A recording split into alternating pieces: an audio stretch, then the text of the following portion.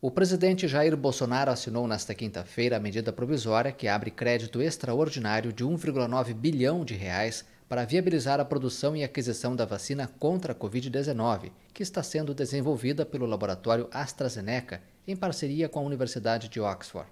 Em dezembro, talvez, dezembro, janeiro, existe a possibilidade é, da vacina e daí esse problema estará aí vencido poucas semanas depois.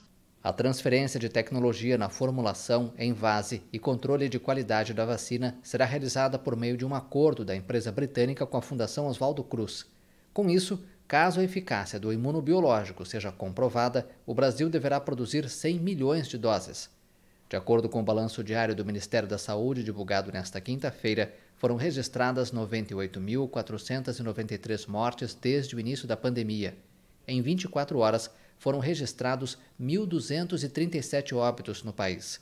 O número acumulado de casos da doença chegou a 2.912.212.